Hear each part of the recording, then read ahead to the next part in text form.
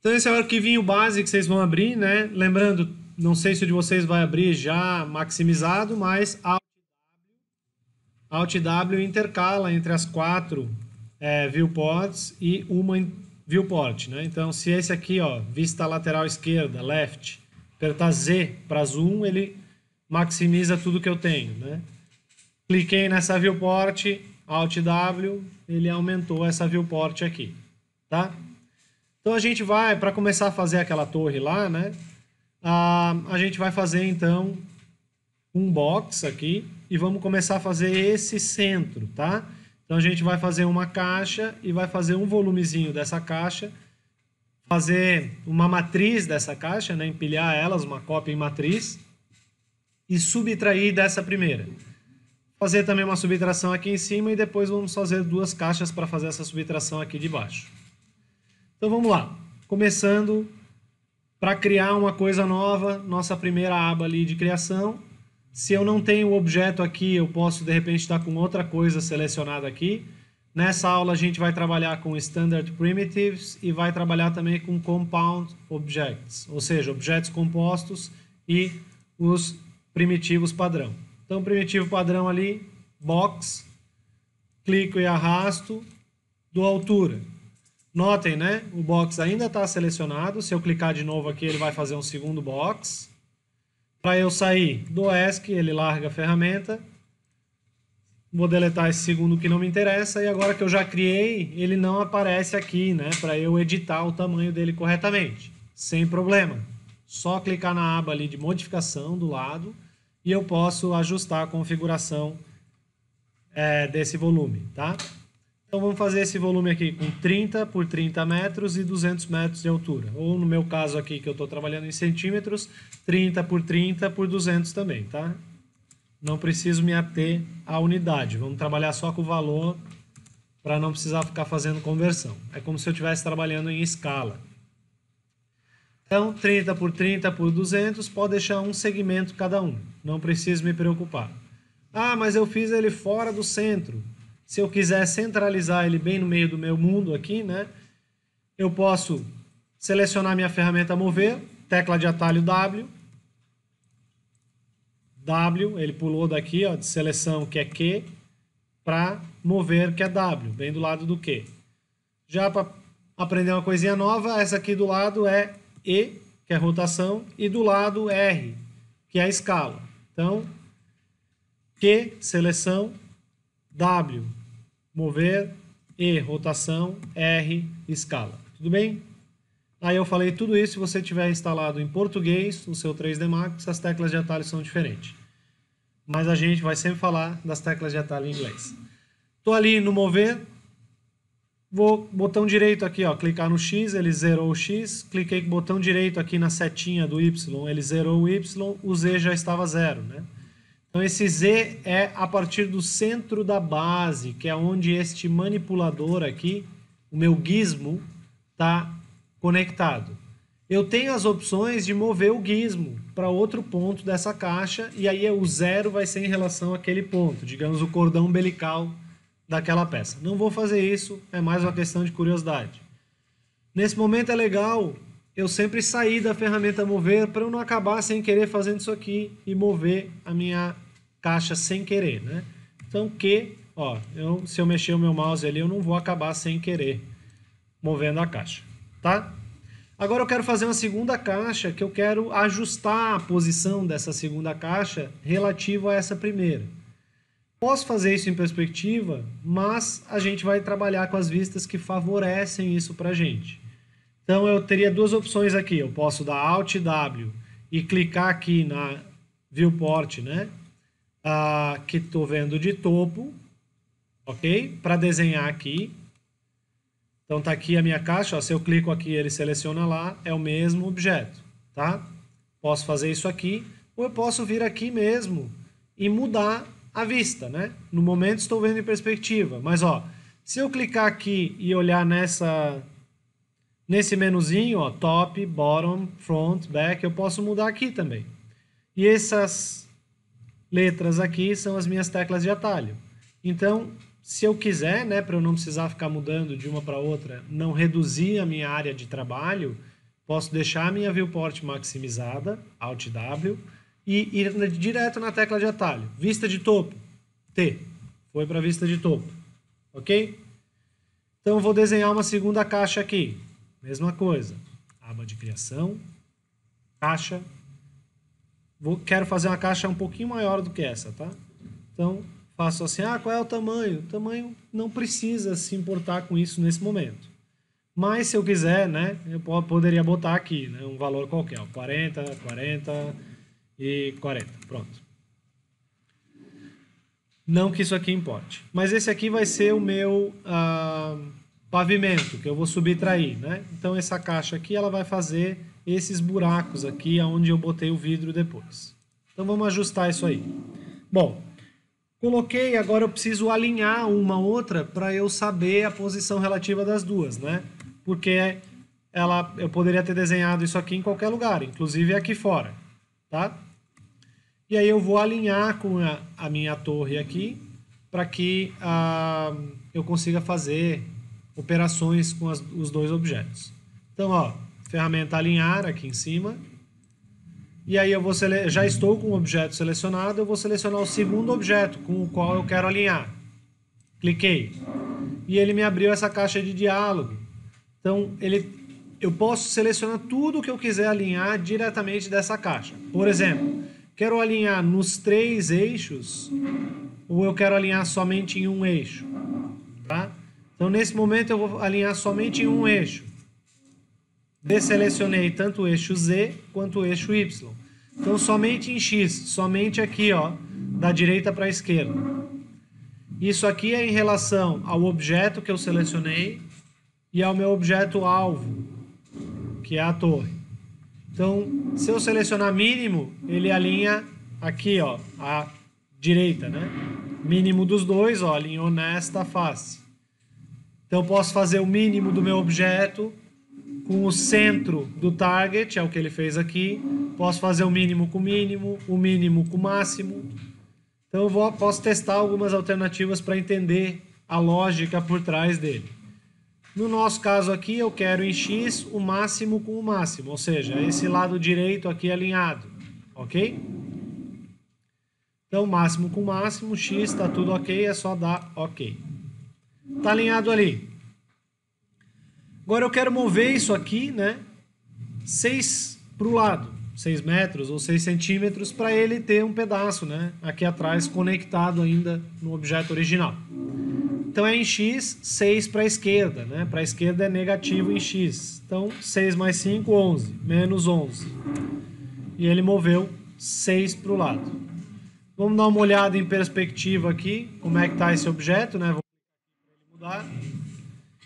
Ah, mas ele está em wireframe, né? Está transparente ali. É só apertar F3 que ele muda aqui para sombreado, tá? Então F3 intercala esses dois modos de visão. A altura dele não está de acordo com o que eu quero. Eu quero uma altura aí de 3 metros, né? Ah, então vou ajustar a altura dele, selecionar o objeto aqui, aba de modificar e eu vou mudar somente a altura do objeto ali para 3 metros. Tudo bem? E ele não vai começar lá de baixo, ele, vai, ele é só o meio do prédio que tem esses ah, andares aqui, né? Então, eu, se eu estivesse projetando, eu definiria isso, né? Eu escolheria qual seria essa altura que ele começa. Para o nosso exercício aqui, ele vai começar uma altura de 40, ok? Então, eu vou de novo selecionar mover e eu quero z igual a 40 aqui, ó, tá? Então vou selecionar aqui e vou botar ó, 40, enter. Ele subiu para 40 meu andar.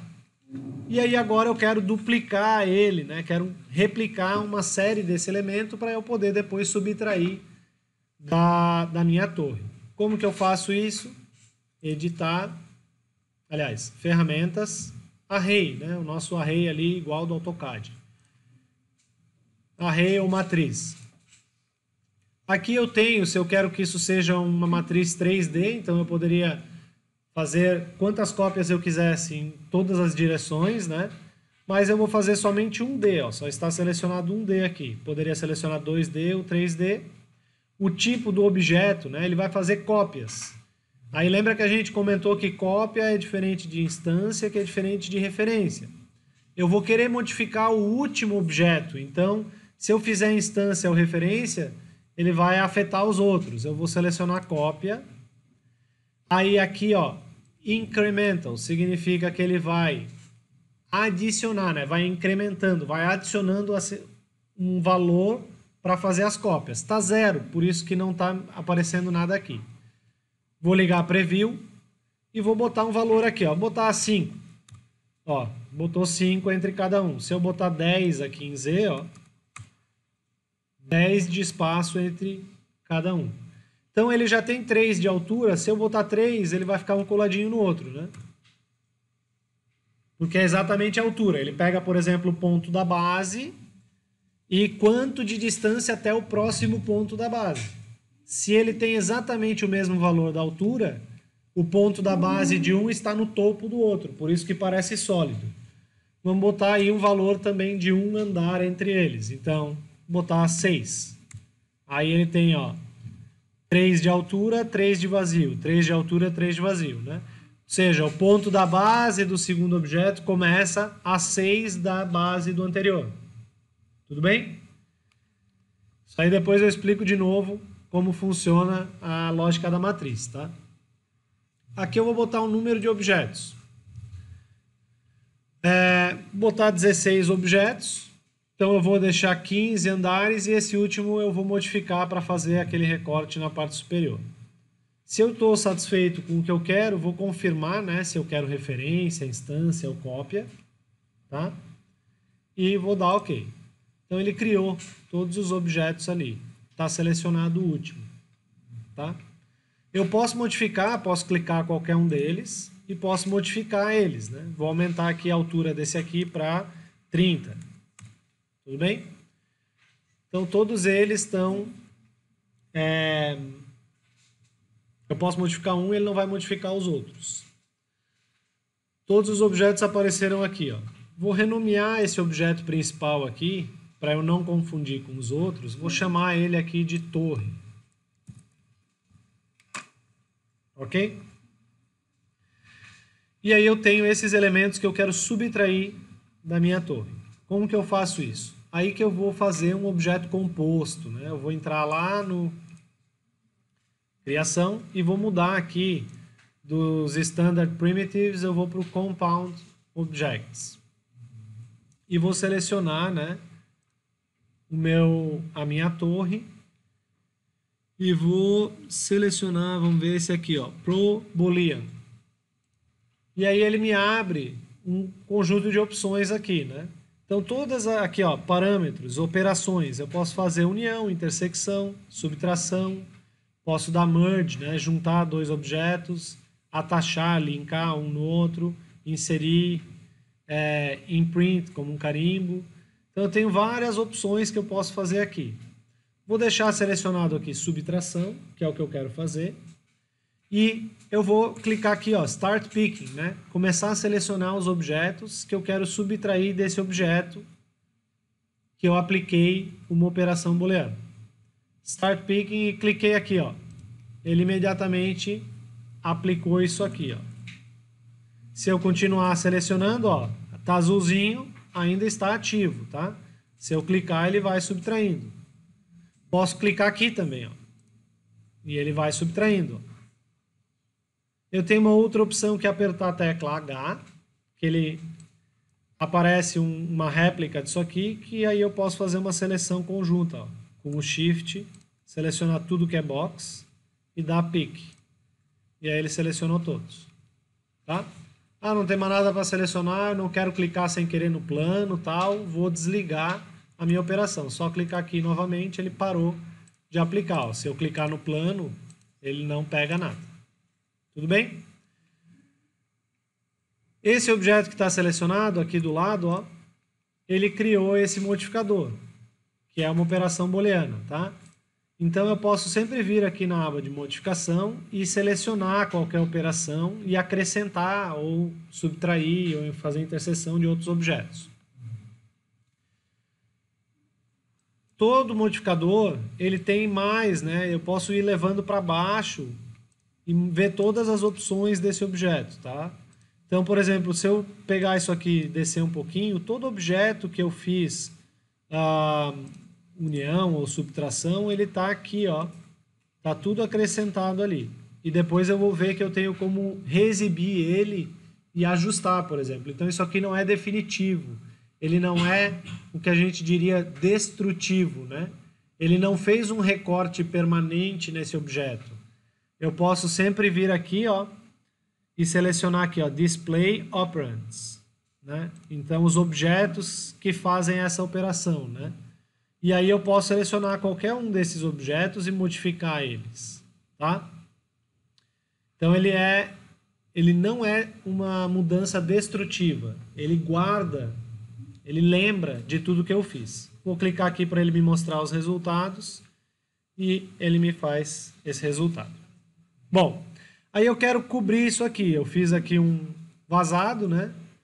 E eu quero botar o que seria o vidro desses ambientes aqui. Mesma coisa, eu vou fazer um novo box que eu vou adicionar a esse objeto. Como é que eu faço o novo box em relação ao primeiro? T, vista de topo. Ah, mas eu não quero ver assim, eu quero ver ele transparente, né? F3 para mudar para wireframe.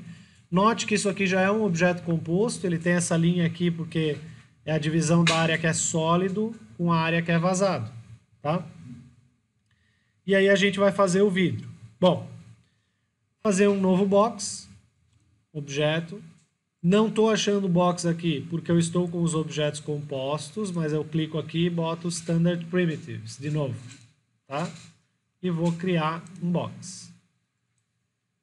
Clicar aqui. Esse, o tamanho certinho, não precisaria colocar agora, poderia depois ajustar em Modify, mas como já está aqui, ó, vou clicar duas vezes aqui e vou botar o tamanho dele aqui, ó, 28 por 28 por 128. Ok? Vou dar ESC para sair do box e vou olhar em perspectiva para ver o que, que ele fez. Ó. Ele fez um novo box que está lá embaixo, tá vendo? Está selecionado ali, ó. Tá saindo do ambiente, não está direitinho na posição que ele deveria estar. Tá. Mas ele está desde lá de baixo até aqui em cima, tá? Vou olhar de topo de novo, F3, e vamos fazer, vamos alinhar esse objeto então. Conferir se ele está com o tamanho correto, 28, 28, 128. E vou alinhar com este objeto aqui. Ele estava com a última opção que eu fiz, ó, alinhar somente em X, máximo, máximo. Eu quero em X e Y agora, né, que eu quero que ele alinhe tanto na vertical quanto na horizontal aqui, né? tanto direita esquerda quanto acima baixo. Mas não pelo máximo, mas pelo centro. Ou seja, o centro do objeto que eu desenhei com o centro do objeto de destino. E aí eu dou OK. Vamos ver como é que ficou isso aí. Vou tirar da ferramenta mover, né, para ele não mover sem querer. Apertar F3 para ele ficar sólido. E ele cobriu, ó, o objeto onde eu tinha recortado.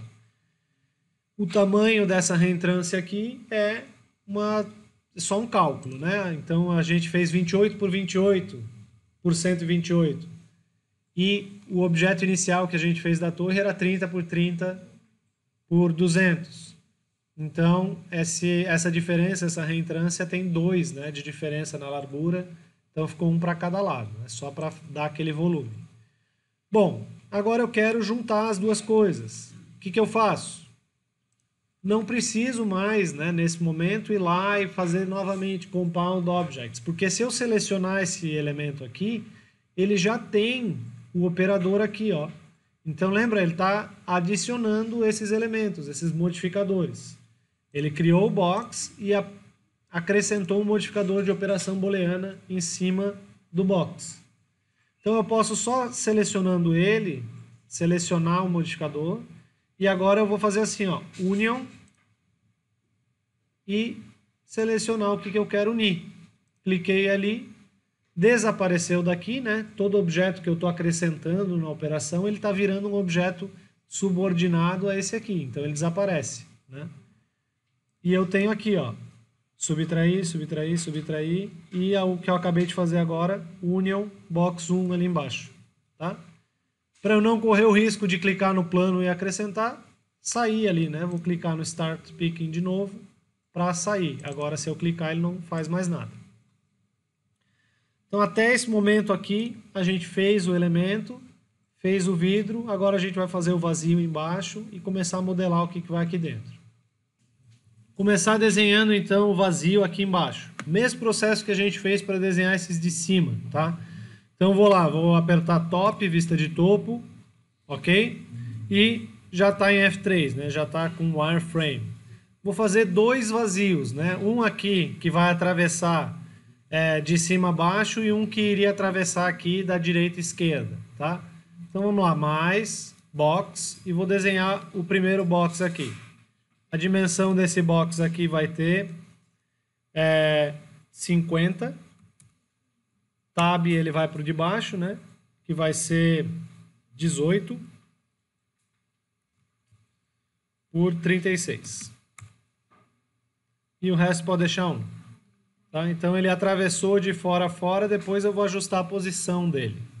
Mas já vou desenhar um segundo aqui, ó, que vai ter 18 por 41 por 36. Primeiro box, o box vertical, vou centralizar com a minha torre. Depois o, o box horizontal, vou centralizar com a minha torre, tá? Seleciono vertical, alinhar com a torre, centro, centro. Horizontal, alinhar com a torre, centro, centro. Ok. E agora, vou somente em X alinhar essa face com essa face aqui. Alinhar com este elemento e vou tirar o Y. Máximo, máximo. Então ele alinhou a face direita com a face direita. Agora sim, olhando lá em perspectiva, com o F3 ligado, é esse elemento aqui, né? esses dois. Um T que atravessa para fazer esses, essa pilastra aqui no meio, na frente. Ok? Mesmo processo. Seleciono a minha torre e vou subtrair esses dois objetos. Vou em modificar, que eu já tenho o meu operador de operação booleana. E eu vou selecionar subtração e começar a selecionar os objetos. Seleciono um, seleciono dois e clico novamente para parar de selecionar. E aí eu fiz o vazio da torre ali. Agora eu quero aumentar um pouquinho a espessura desse objeto aqui, tá? Então tenho que selecionar aqui, ó. E no modificador, eu vou pedir aqui em display que ao invés de ele me mostrar o result, ele me mostre o operands. Ok? Então ele está me mostrando todos os operadores, ó, inclusive esses dois que eu acabei de subtrair. Tudo que foi subtraído e adicionado está aqui. Aí eu vou selecionar só esse objeto aqui e vou ajustar a posição dele agora. Está em menos 11, né? 6. Mas eu queria que ele ficasse exatamente na metade. Se isso aqui tem 30, eu queria que essa face externa estivesse a partir daqui 15. Ele já andou 6. Então eu tenho que acrescentar mais quanto? Mais 9, né? Então vamos ver. Tem que ir em x no negativo. 9 mais 11. 17. Ok? Aí essa face aqui está exatamente na metade do outro objeto. Note que ele continua sendo subtraído. Está aqui a operação dele. Ó. Subtraction, box 17. Só, ele só está aparecendo aqui porque eu pedi para ele mostrar o operands. Se eu selecionar resultado, ele volta a estar tá com a operação completa lá. Bom, então lembrando, né? Só caso queira mexer só nos operadores aqui, mesmo que eu esteja com o operador habilitado, se eu tiver na raiz em booleano lá, eu acabo mexendo todo o objeto, né?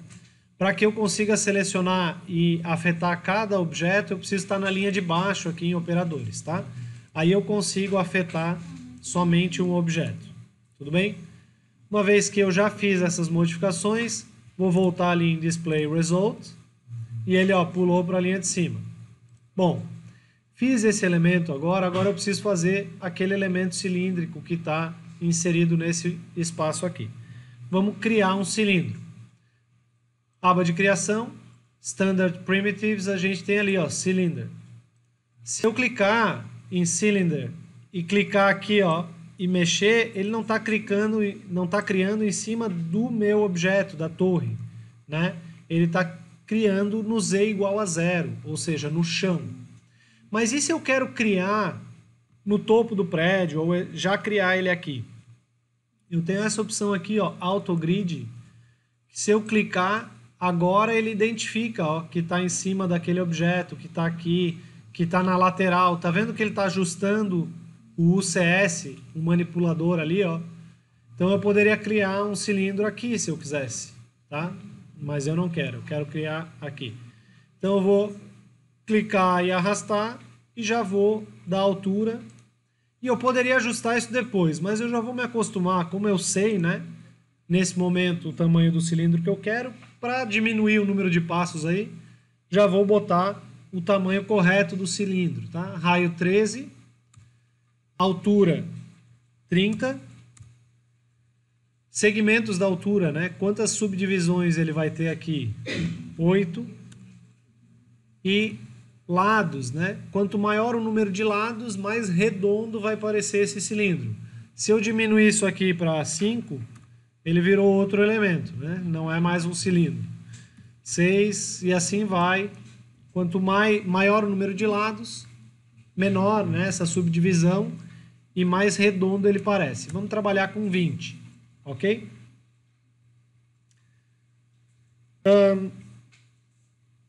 Bom, agora eu vou ficar só com esse cilindro aqui, eu vou isolar o resto, né? Botão direito aqui, Isolate Selection, para eu não acabar selecionando novamente a minha torre e afetando ela. Tudo bem? Antes de fazer isso, eu precisava centralizar, só para não errar. End Isolate, vista de topo, vamos centralizar com a nossa torre. Mesmo processo que a gente usou alinhar até agora.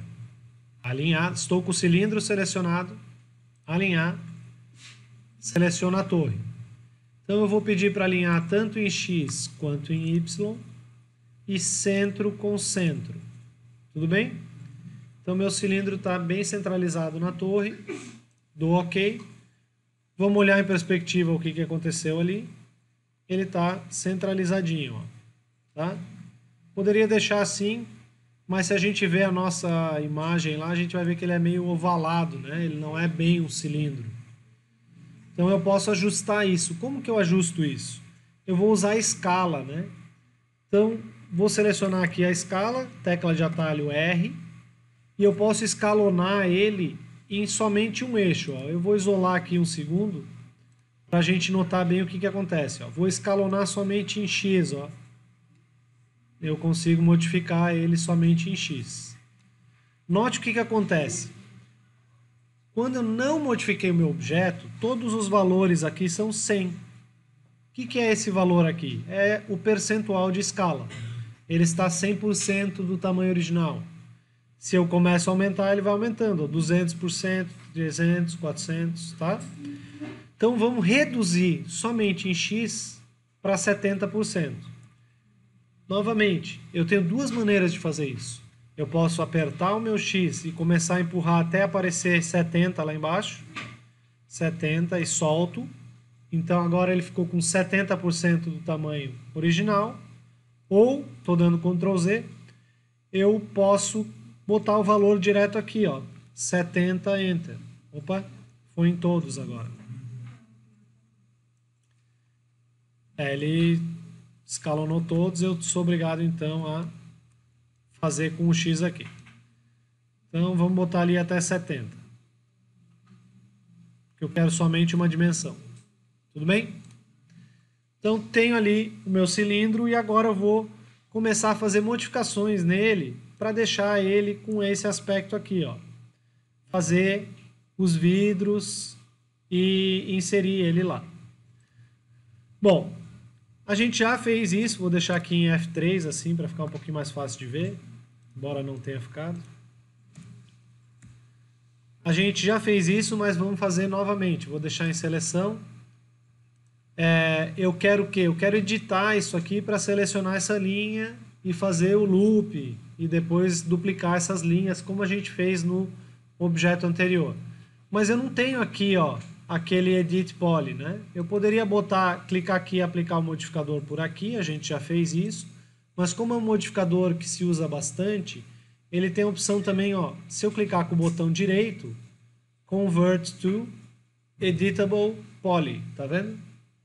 Se eu clicar aqui, ele botou ali, ó, converteu para uma é, um objeto, né, de polígonos editáveis. O que, que eu posso fazer aí? Vou selecionar Edges, vou clicar numa linha horizontal aqui, e aí eu vou selecionar esse Ring, e ele vai pegar todas, todos os anéis, né? Então, ele entendeu que eu peguei um segmento, todos os anéis, todas as subdivisões. Vou tirar com o Alt o topo e a base. Aí eu tenho só os intermediários. Então apertei o Alt e cliquei nas duas linhas. E vou usar o meu amigo Loop. Aí ele selecionou todos os segmentos naquela linha, né? ele fez o loop. Bom, agora eu quero editar isso aqui, eu quero duplicar essas faces. Eu vou vir aqui embaixo, né? Edit Edges, tudo bem?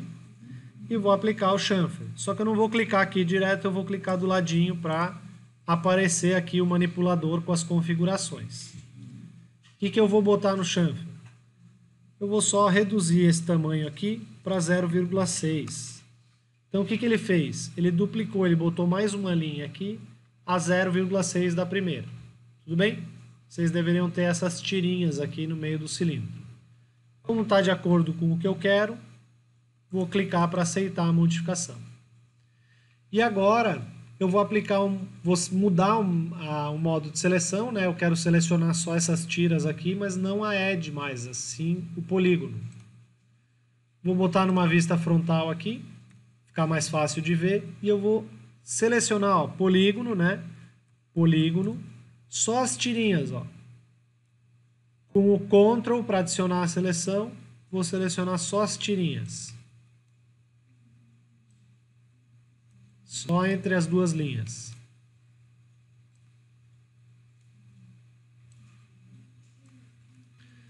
Quando eu estou com tudo selecionado, eu vou aplicar agora um modificador que é bem útil, né? bem comum quando a gente está fazendo modelagem, que é o bevel. Tá?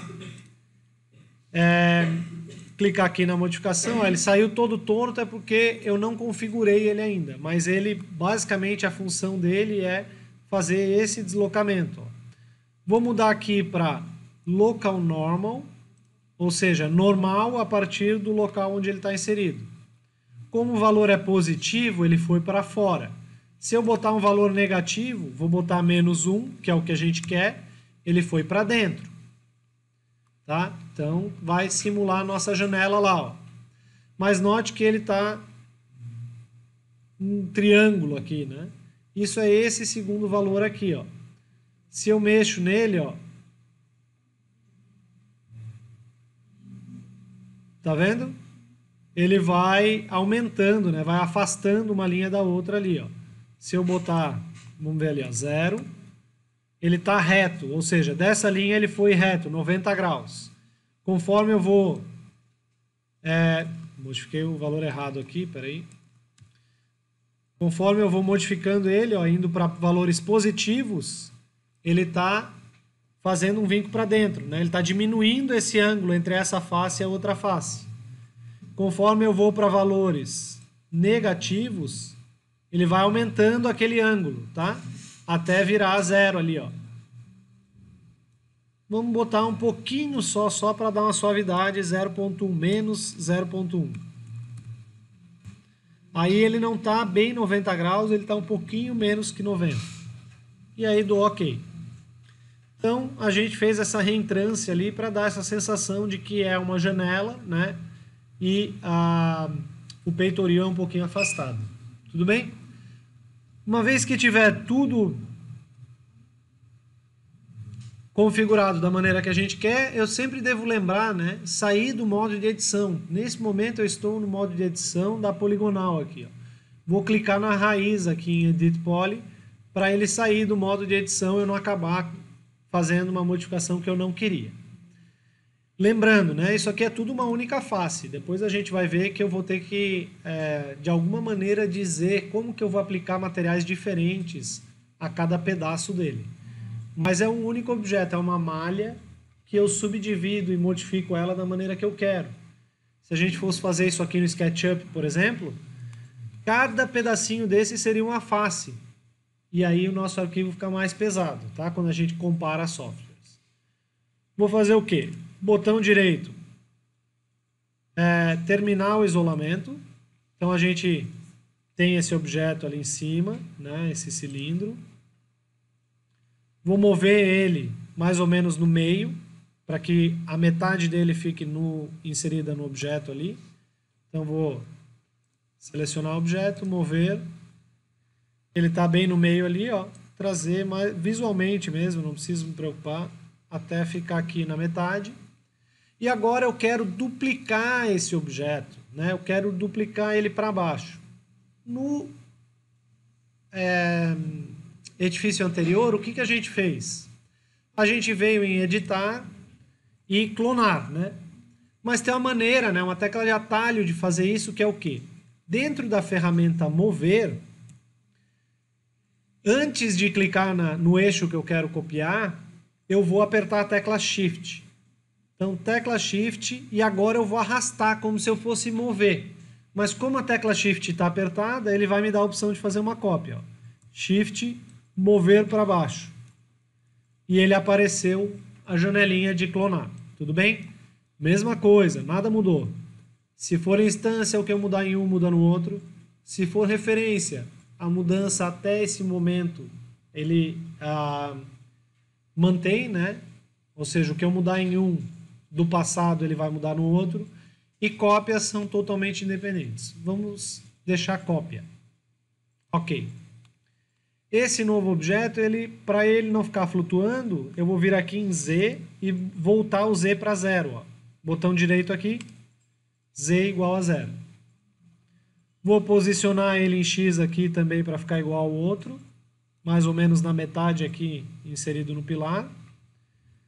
E vou escalonar ele agora para que esse topo aqui entre, né?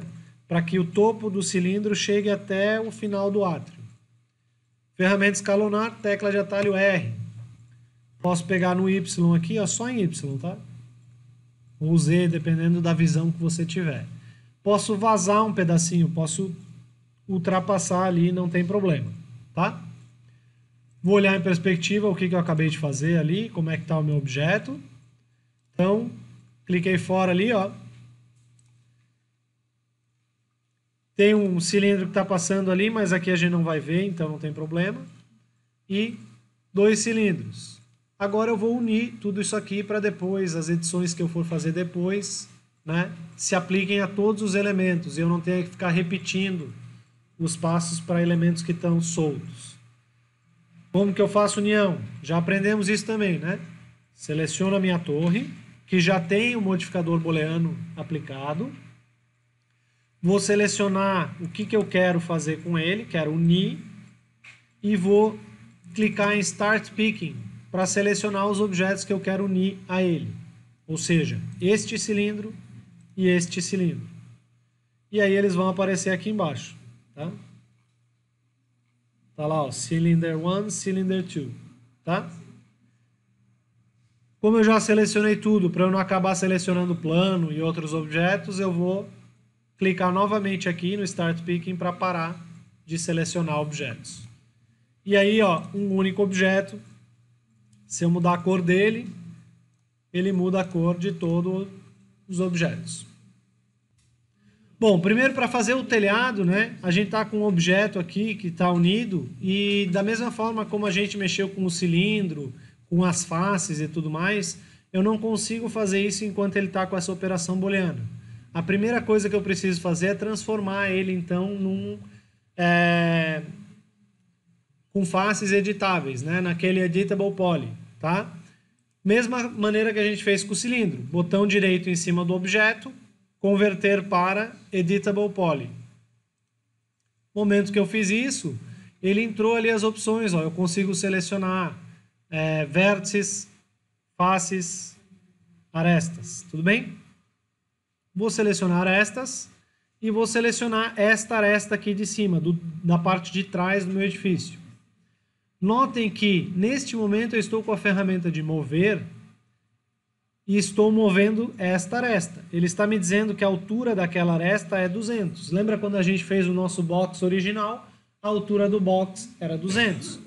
Então estas quatro arestas do topo estão a uma altura de 200 do nosso plano horizontal, que é o, é o zero, né? que é esse plano aqui.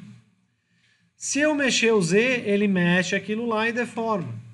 Eu poderia fazer isso visualmente, não teria problema algum, mas para a gente tentar chegar todo mundo no mesmo resultado, vamos mudar, né? Vamos baixar ele 40.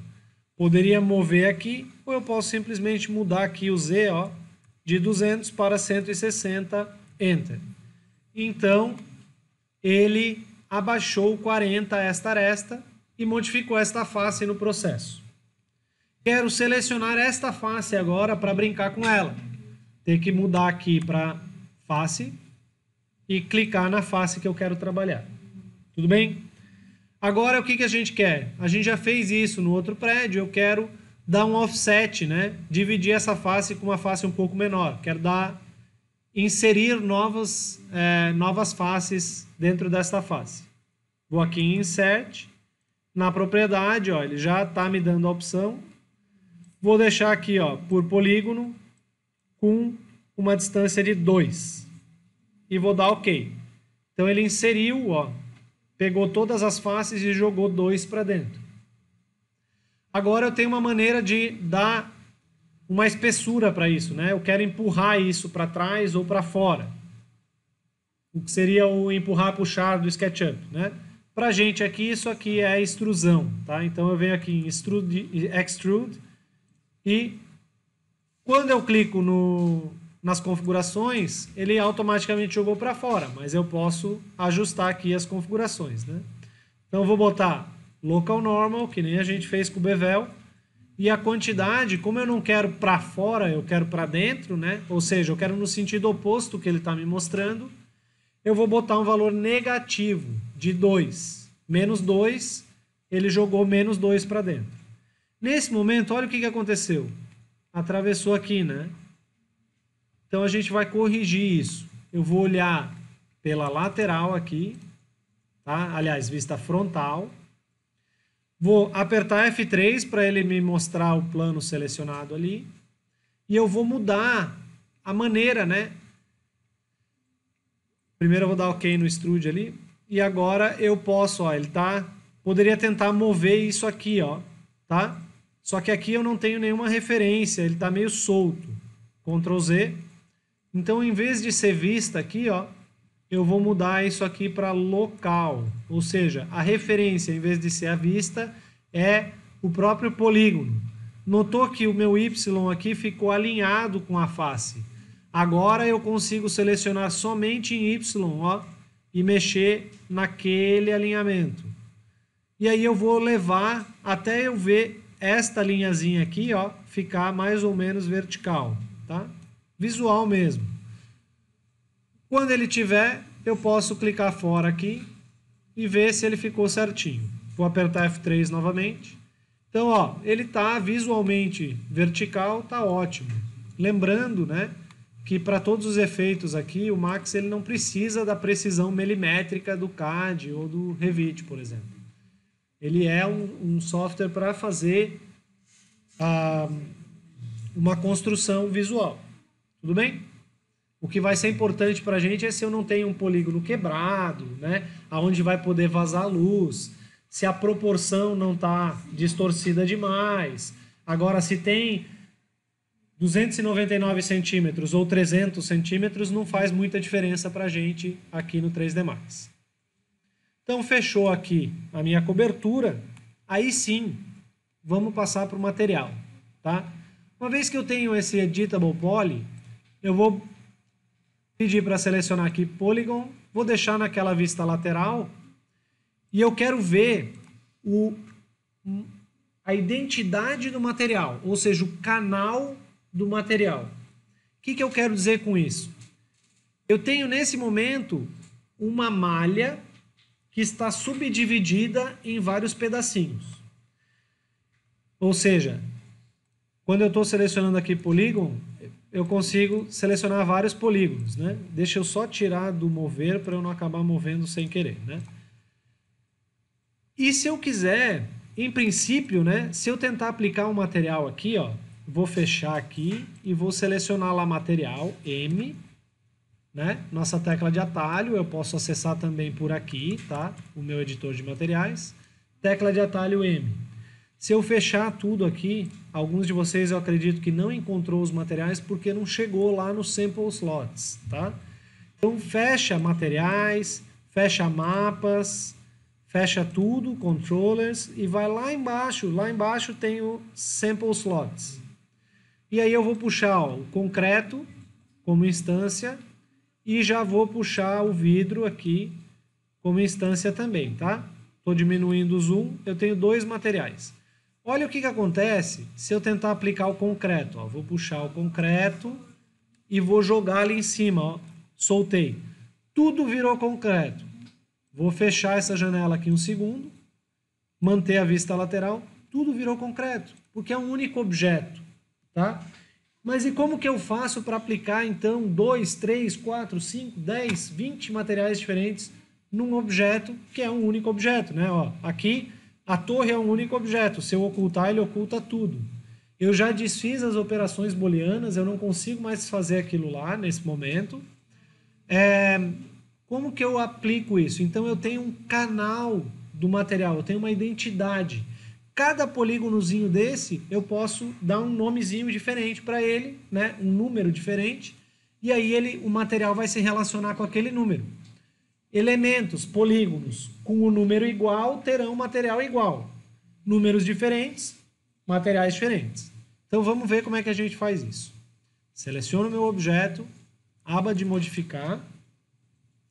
Estou ali ó, dentro de Editable Poly, eu vou para Polygon.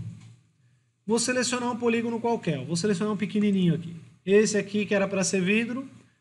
Vou olhar aqui para baixo, ó, vou jogar isso aqui para cima Vou até fechar aqui, ó, Edit Polygons, Edit Geometry. O que eu quero é isso aqui, ó, Polygon, Material IDs, tá? É isso aqui que me interessa nesse momento. Então, notem que o número que ele tem aqui, ó, Set ID, 1. O ID dele nesse momento é 1. Eu poderia ter, ó, mais de 32 canais diferentes. Cada um desses é um canalzinho, né, um nome que eu chamo ele, tá? Ou seja, um grupinho. Eu posso botar to... quantos polígonos eu quiser com o mesmo nome, não tem problema. Eu vou apertar aqui, ó, Ctrl A. Ele selecionou todos os meus polígonos. Todos os meus polígonos, eu não sei aqui, ó, eu acho que eles estão variando de 1 a 7. Eu vou pegar aqui o set ID 1 e vou dar enter, tá? Set ID 1, enter. Todos eles ficaram 1. Tudo bem? E agora, o que, que eu quero fazer? Agora eu vou pegar o outro, vou selecionar um outro que eu quero e chamar ele de alguma coisa diferente. Então vamos ver, ó. Esse aqui eu cliquei, ele está com o ID 4, desgracento. Vamos lá, ó. seleciona tudo, botar aqui set ID 17. Agora eu vou selecionar o vidro aqui, ó lá, um, né? Vou selecionar todos os vidros e aí seu método de seleção preferido, desde que você selecione todos os vidros. Aqui é uma questão mais de paciência do que conseguir ou não conseguir, né? Lembrando que às vezes, se eu clico, eu não estou selecionando o que está atrás. Então, janelinha de seleção, pode usar o Shift, o Ctrl adiciona, o Alt remove dessa seleção. Vou selecionar tudo que eu quero que seja vidro. A parte de trás eu vou ignorar.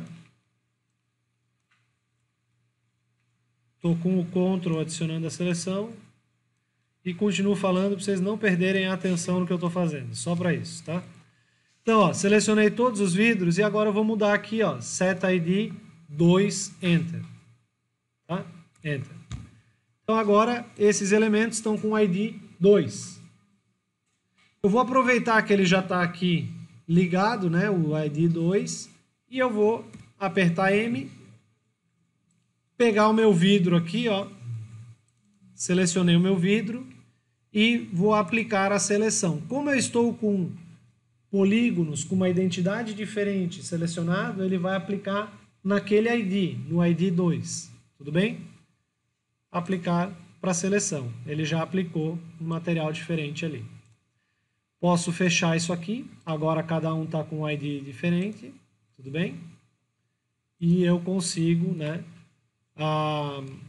ter mais de um material então aplicado no mesmo objeto. Ele não deixou de ser um objeto ele é um único objeto que eu posso apagar ou habilitar. Eu poderia fazer a mesma coisa, tá, gente? Ó, selecionar esse objeto, Polygon, e aí eu posso fazer agora seleção pelo ID. Por exemplo, Select ID, tá vendo? Eu acho que eu set ID 2, ok, Select ID. Se eu botar Select ID 1 e clicar aqui Select ID, ele me selecionou tudo que é 1. Tudo bem? Ó, o vidro não está selecionado porque ele é ID 2. Se eu botar aqui, ó, 2, Select ID, ele seleciona tudo que é ID 2. Assim eu poderia fazer 3, 4, 5 e ter mais de um material aplicado ao mesmo objeto.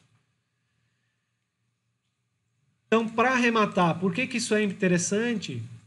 Porque eu tenho, isso é um único objeto, ele fica leve. Então, ao invés de eu precisar fazer vários recortes, vários volumes, ter faces que eu não vou usar de repente, né? Que se eu fosse fazer isso aqui no SketchUp, por exemplo, eu teria vários cubos, vários boxes um em cima do outro, e dentro dele eu tenho faces que eu não estou usando. Isso pesa. E assim eu consigo deixar mais leve. Ah, então quer dizer que eu tenho que fazer modelagem no Max? Não necessariamente, tá? Mas o que vai acontecer é o seguinte, eu trouxe um meu um modelo, algo que eu já modelei no SketchUp, e aí tem alguma face que eu não estou conseguindo acessar, ou que eu tento botar o material e ele não está indo. Aí eu sei, pô, de repente o ID daquele material está igual ao outro, tá?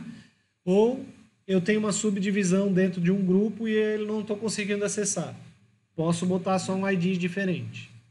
Depois a gente vai aprender também a dar detach, a separar, pedir para ser uma face diferente do outro.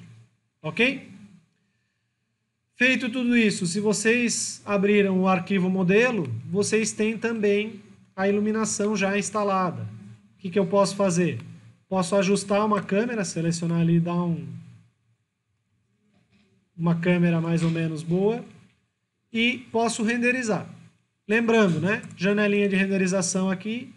Ah, mas eu não tenho Mental Ray, quero botar arte. Posso clicar do lado aqui, ó, tecla de atalho.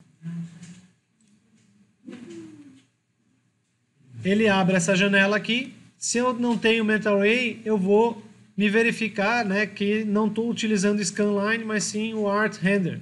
Tá? O Art vem padrão. Posso renderizar com o Art, ele não deveria dar problema algum. Está lá renderizando com o Art. Ah, mas eu não gosto do Art, eu quero Mental Ray.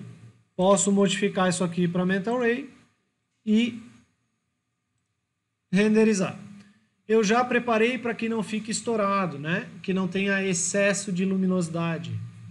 Bom, ele está calculando a luz, mas pode ter luz de mais ou luz de menos. A lógica por trás disso é o quê? Máquina fotográfica que você bota o ISO.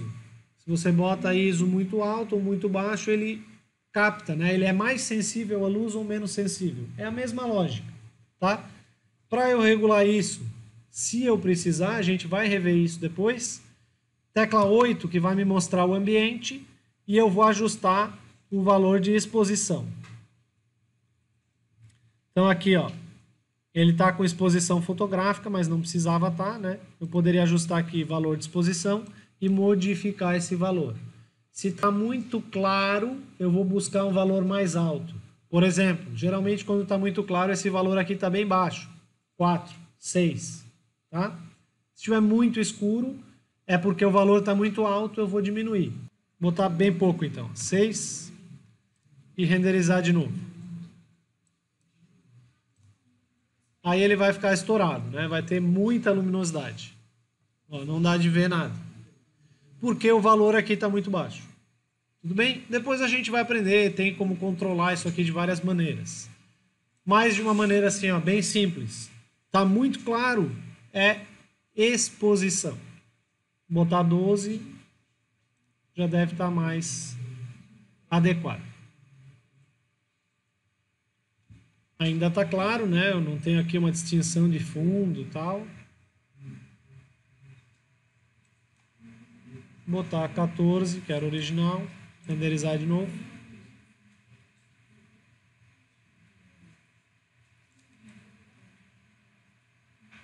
Bom, os materiais que a gente está utilizando então permitem vocês renderizarem com o Art ou com o Mental Ray, né? Ambos aceitam.